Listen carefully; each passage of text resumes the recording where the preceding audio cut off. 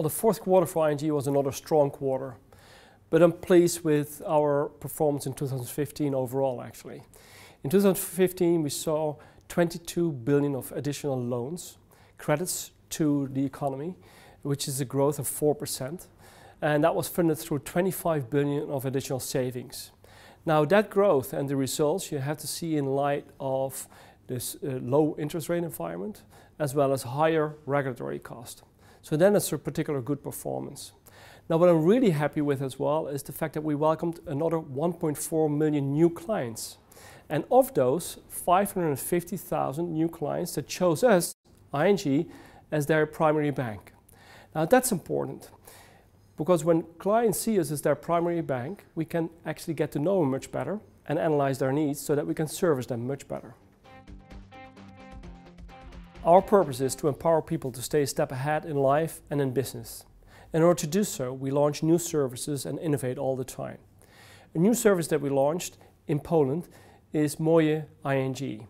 And Moje ING is actually an omni-channel platform through which the client can actually make a good analysis of its own personal financial situation and plan its own financials.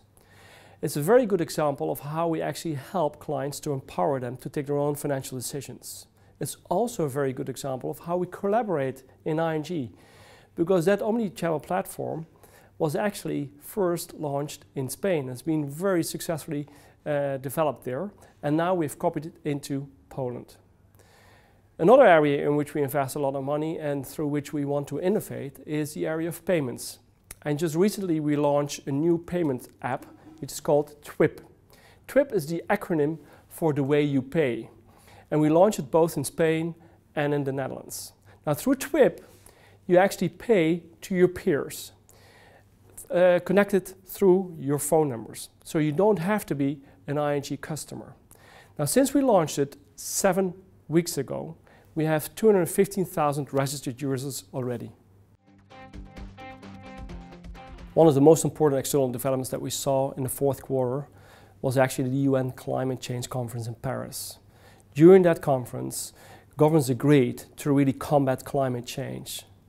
Now, it is not up to governments only, in my view. We all have to take leadership on this one, individually as well as collectively.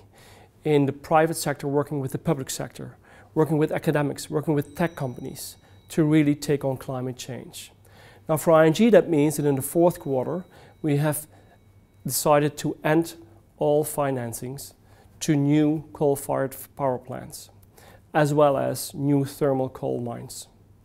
We also decided to run all of our buildings globally on 100% renewable energy by 2020.